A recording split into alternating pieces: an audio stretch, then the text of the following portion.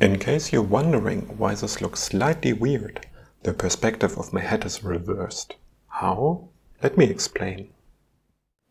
Perspective is something you may remember from your architecture drawing classes. One or two vanishing points, horizons and so on. Long story short, more distant things appear smaller. But perspective is something that affects faces as well. When photographers are taking portraits, they spend a lot of time thinking about the focal length of camera lenses. Usually people say one should use a focal length which is as long or longer than the human eye, something like 50 millimeters for example. But why? For one, the longer the focal length, the easier it is to get a nice and blurry background for portraits. But there's something else. Our brain is extremely sensitive to very small changes in facial features and lenses distort faces. A long focal length removes the perspective and a short one makes it more noticeable. But even if that may look extreme, that's still a regular perspective. So how would faces look like if we reverse it? The closer something is to the camera, the smaller it appears. So the tip of my nose is mostly normal, while my ears are absurdly enlarged. It's a bit like unfolding a face. I hired my favorite model for a few portraits. Most of the images look a lot funnier if someone is experiencing this perspective change for the very first time.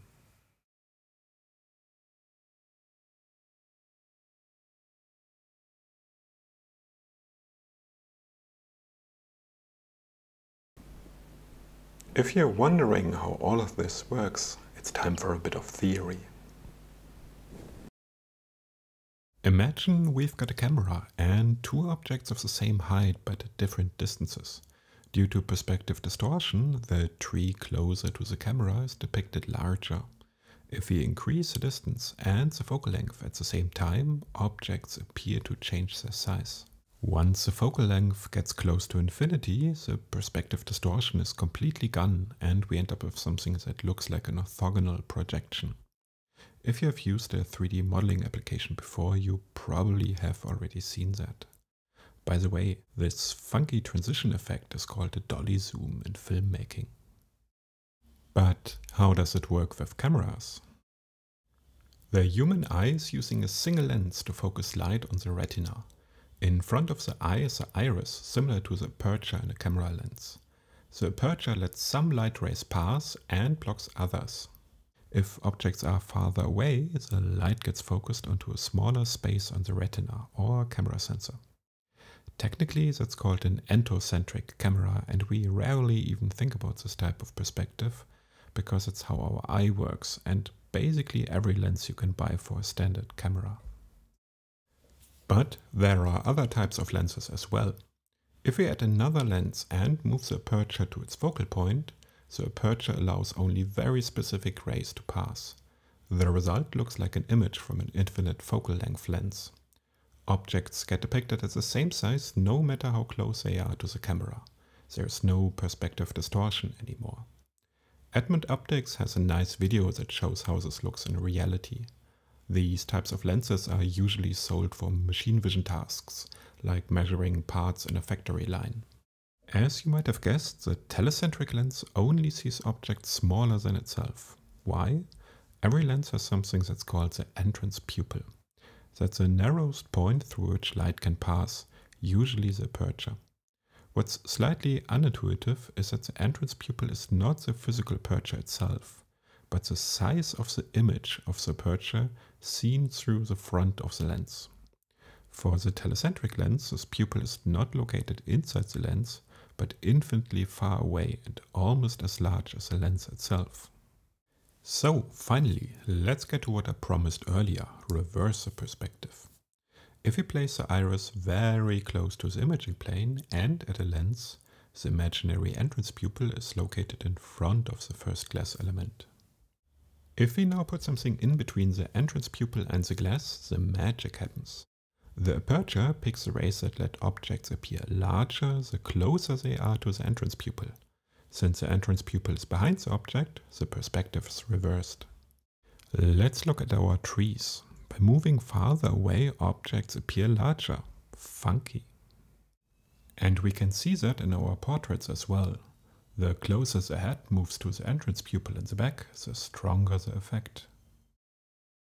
That's called a hypercentric camera and the most important part of this optical system is the diameter of the entrance pupil. So our first lens must be larger than whatever we want to take an image of. And if we want to take portraits, well, your lenses better be much bigger than a head. It's pretty much impossible to buy a conventional lens this size, so I had to go with a Fresnel lens. Last tangent, I promise.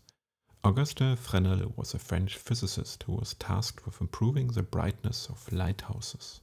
He knew, and that's a simplification, that the light is not refracted by the glass of the lens itself, but by the surfaces where glass and air meet, so he split a large lens surface into a lot of smaller segments that these gorgeous glass enclosures around the lights and lighthouses.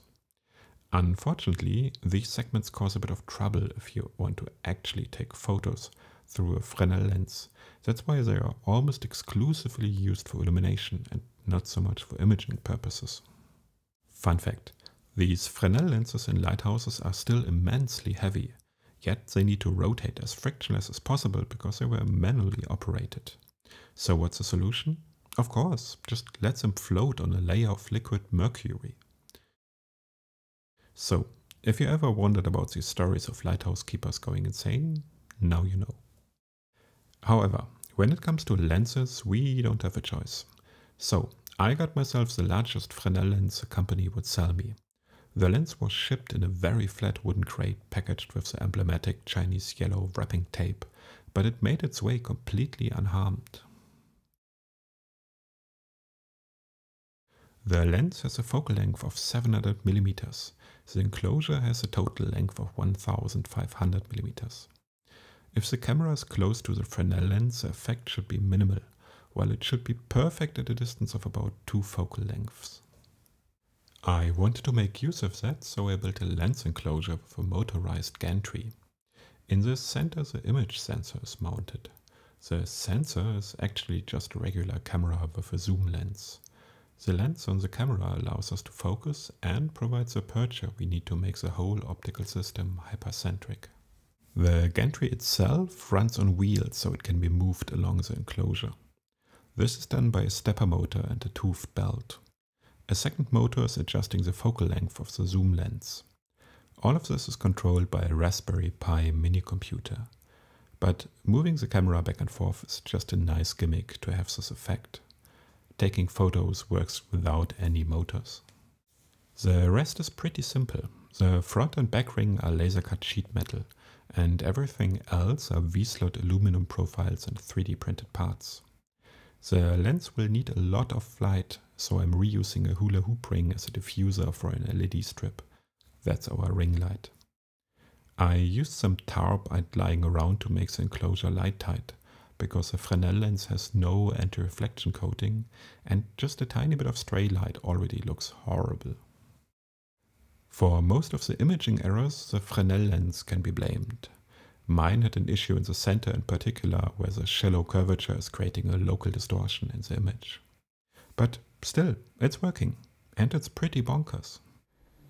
So, is that useful? Absolutely not. But is it funny? Well, you decide. As you can imagine, I'm absolutely not the first person who is doing this absurd stuff. Ben Krasnow of Applied Science made a great video about lenses that see behind objects and got me started on this. I'm using the same technique to get a regular camera to hypercentricity, just a bit fancier.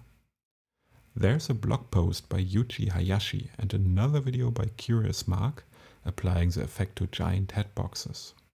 There's even a whole Flickr group of ugly face pictures with Fresnel lenses. Links to all of that are in the description. In any case, if you want to build your own tiny hypercentric lens, just grab a simple positive lens like a magnifying glass. If you hold it at just the right distance to something, the iris in your eye acts as a aperture and perspective is reversed. If you want to build a large camera, I published the design files and parts list on my website. That's it. I hope you learned something new. If you build something similar, let me know. I'm always happy to hear about that.